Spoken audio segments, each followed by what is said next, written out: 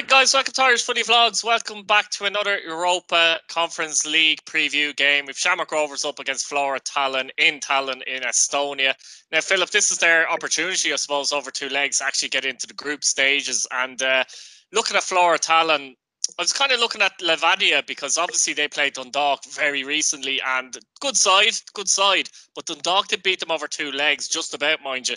But Levadia are 12 points ahead of Flora in the league in Estonia, and they have three games in hand on them or something. But even so, um, it is a decent marker, let's be honest, isn't it? It's a decent marker for Rovers to look at.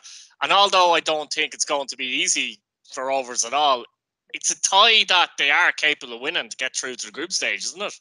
Yeah, it is definitely. I suppose if uh, you made a good point there, Day Keith, about it. If you if you'd have thought that Rovers would have been into the final stage and playing against a side like Flora Tallinn, you'd have bit their hand yeah. off in a sense, you know, because although, as you said, there's no guarantees in this game because they are able to, like, the, the, the division does tend to bring good squads into the European competitions, you know.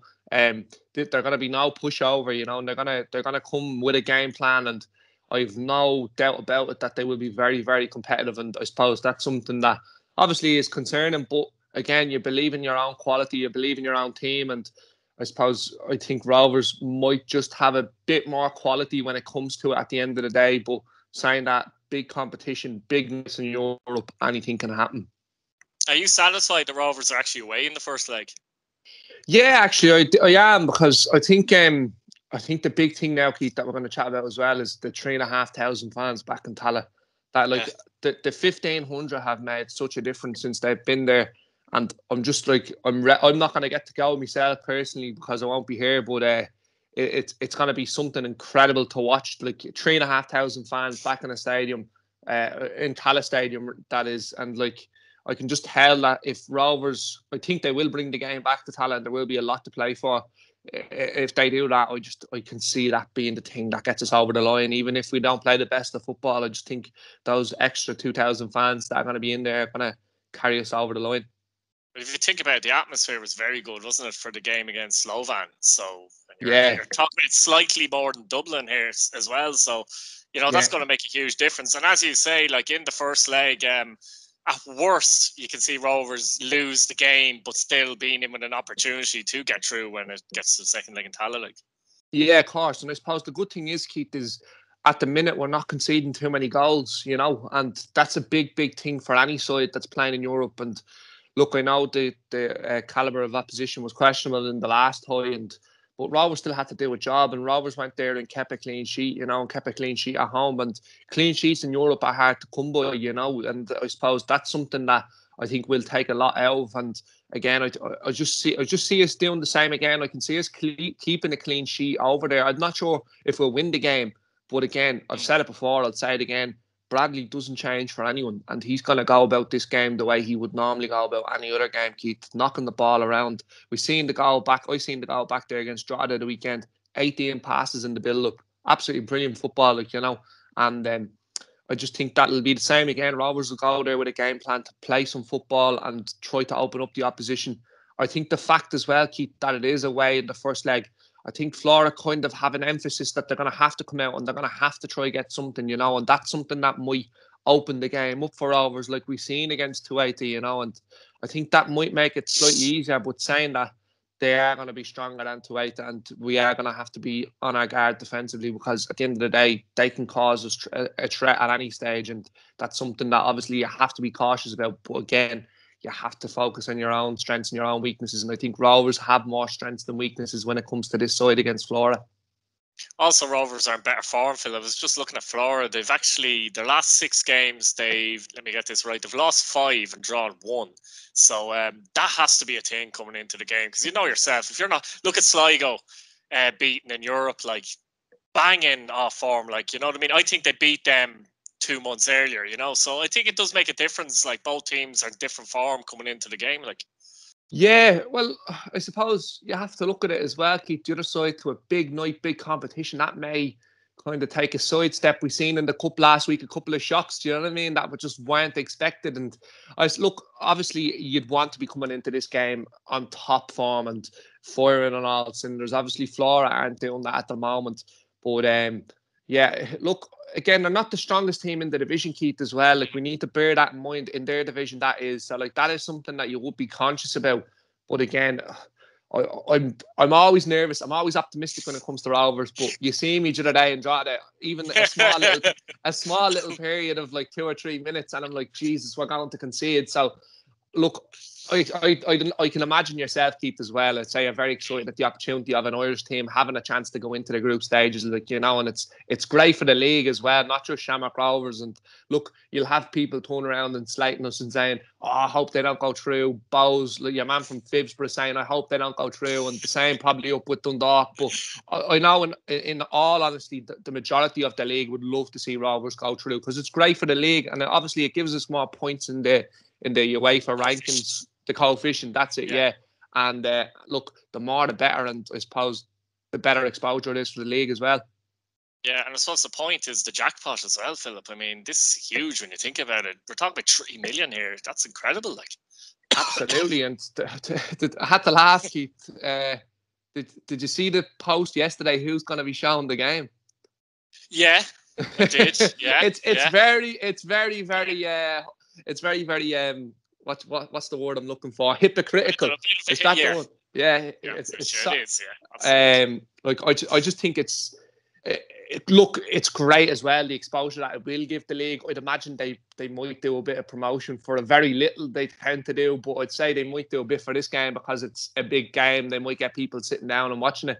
But uh, look, I suppose you have to take the good with the bad, and they are going to show the game, which is great. And I suppose I hope everyone that's watching the video and everyone that that is associated with the league will get will get their bum down on a chair and watch the both legs because I think they're showing both legs. So yeah, uh, look, very exciting time for the club, Keith. Very exciting time for the league.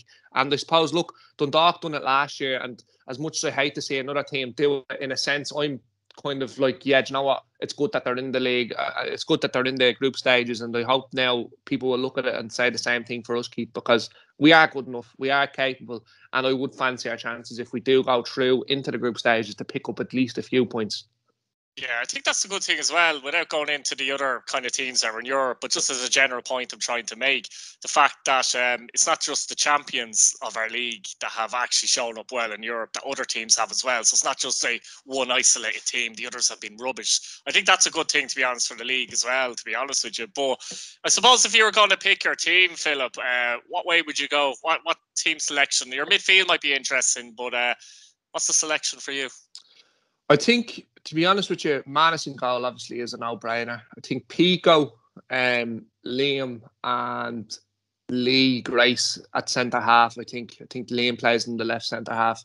Uh, I think um, having a probably play left, left wing back. I, I was actually really impressed when I look back on the game with him the other day. I thought he was just solid. Um, everything he done was just solid, and I think that's what we need on, on the night. Look, don't get me wrong, Liam Scales fantastic, can play there, but I just think I just think that the left centre half I think suits him a bit more for some reason. I, I don't know why. yeah. Uh, yeah, so I, I, think that's hopefully.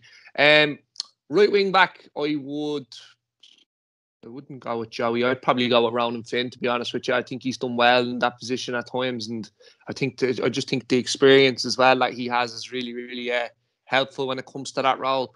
And then I suppose mid midfield, uh, Keith, look, there's no brainer. Gary O'Neill has to start the game, in my opinion. Um, I look back again on the draw of the game since I've watched the Witcher Keith live, and as soon as he brought on Gary O'Neill, like we were just so comfortable. Like it was, it's so strange what he does to a football team, uh, and like he doesn't even have to be on the ball, just the positions he's picking up and all. You know, I just think he has to start. Um, obviously, it's going to be him and I'd love to see what start, but I don't know. He just tends not to go with those two for some reason. Mm. It's you know now I know he did it on one of the nights, uh, one of the European games, but it's not something that we see too often, and I don't know if that'll be the case on, on the night. But I, I would hope he would start Watts. Um, and then look, I suppose then you have this conversation about Danny Mandroiu. Look, he's it's strange because we watched him there the other day again, Keith, and he just kind of phased out of the game. Uh, he didn't offer much, and you know, it's it's a difficult one. I, I personally would probably go with Burke. I think he should start anyways. Um, where he starts now is a different kettle of fish altogether. Because uh, obviously he can play in a couple of positions for Rovers, but I think the best is behind the centre forward. To be honest with you, hundred percent. Um, Gaffney up front. And Ooh, Rich Towell, I think you're thinking, is it? Midfield. Richie Towell, sorry, yeah, Richie, Richie probably in behind, and then yeah, Philip, Richie yeah, play with Gary Philip, the conundrum is uh, what do you call it, Mandroiu and Burke. I'm just questioning will he play Mandroiu and Burke away from home because he might stick Watts in there because Watts is a bit more to his uh, get around the park off yeah. the ball play, let's say as well. So that'd be my thought. Like I could be wrong, but that's just my thought. He might think that Mandroiu and Burke might be a little bit too, too aggressive. I don't want to say like passengers. That's a bit harsh, but they're not the type that are going to get around the field as well as a Dylan Watts. And if you have him, Towell, and O'Neill in there, you've a bit more of that. But also, you still have the drive from Watts going forward. So it's not as if it's defensive. Do you know what I'm saying? Yeah, of course, Keith. And do you know something? Towell completely passed me mind. He will 100% start the game. Yeah, he's been he's been exceptional since he's come in, Keith. And I don't think people are talking about him enough. I just think he's been so, so good. There's, get, there's games and points in games where he might not be 100% at it, but he's he's coming up with crucial moments. We've seen in the European toy the goal he scored. Look, we went out like in the in the Champions League that was, but I think he was just he. I think he if we didn't have him in the game, I don't think we'd have won the toy on the night. To be honest with you, I just thought he was exceptional. And he's been really good since that as well, and hasn't really fizzled out or anything. You know, I just think he's been really, really good in terms of how we go about our business. So I think he has to start. Um, look, it's a no-brainer for me. Rory Gaffney has to start as well. There's no question about it. He's been. Uh, I've, fallen head over heels for him. I, I didn't fancy him at all at the start of the season, but now he's just coming into himself and lucky. The, the red hair can be a grower, you see, Philip. Yeah, yeah, there must be something because I tell you one thing, I didn't, I didn't fancy him at the start of the season. I just thought he looked a bit out of shape, and I just, it was, it actually reminded me of um, Lukaku playing for Manchester United. He just didn't suit how they played, you know, and. I just kind of said to myself, where has Bradley thought that this lad's going to fit in? But since since he's he's been on this run, I just everything I look at him and see him do, I'm just like Jesus Christ, that was brilliant. And you've seen it as well when he came on, Keith, the, the other day. He was he was a big difference in holding the ball up, and I think you said it. Someone said it to me. I think I think that's what Drogheda are missing. Someone that can hold the ball up and get players around him, you know. And I think he's he's he has to start. He was brilliant in the the second leg against Teuta as well. And yeah, I, I just I'm I'm optimistic about how he'll go about it as well. Like Keith, as I said earlier on, he will attack the game and he will go for it. He'll obviously have a bit more of a defensive mindset when it comes to the opponent that we're playing in terms of Teuta. Because I think, like I said it in the in the review um, of the Teuta game, he Bradley thought we were in control ten minutes in, and it's still nil nil. Like you know, well, it's one nil in aggregate, but uh, you kind of thought, geez, Dwight, they're going to come and have a go. And 10 minutes in, Bradley shouting, relax, we're in control. And that's kind of something you're looking and saying, I'm about to leap out me see here at the panic of even conceding. And he's saying, don't worry, relax, it's all good. Like, so I think he, I don't think it'll be that strong of an approach this time from Bradley. I think he will be more uh, cautious of what they, what uh, Flora will offer. But I think he'll be confident, Keith. I think we're all confident in the sense that we we've the capabilities to go and win the game. And look, I'm not going to say we're going to go and comfortably go through because I don't think it'll be anything like that. I think it'll be a bit of a, a, a tough one when it comes to the tie and over the two legs. But that little bit of quality, I think we might just have a Keith. You going to call it for the first leg? What score? Oh, Jesus, I knew you'd say that as you well. Hate uh, um, do you know what? I'm gonna hmm. be. I'm gonna go. I'm gonna go one 0 I'm gonna go one 0 and I think it'll be. Rovers. Yeah, I'm gonna go one 0 Rovers. Sorry, yeah. Um, I just think Keith, the point I made earlier on, I think Flora are gonna have to be conscious that they're gonna need something to go to Tallaght I think that will open it up. Like Teuta, we've seen it with Teuta. They literally sat in for for 90 minutes uh, against us in Tallaght, and I think I don't think Flora would do that in. But uh, in, uh, I don't think Flora would do that in Tallaght.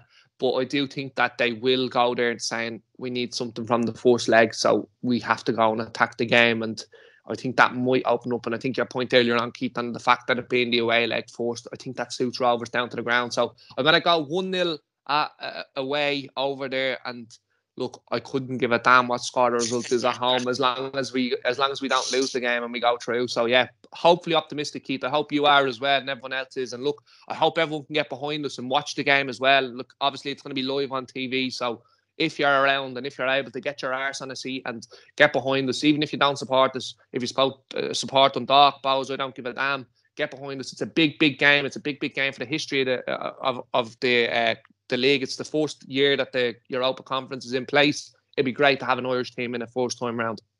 Absolutely well said, Philip. Look, guys, thanks for watching the video. Like the video, subscribe if you're new, and don't forget to hit your bell notification button so you don't miss a video. Brilliant stuff, Philip. Thanks, Keith.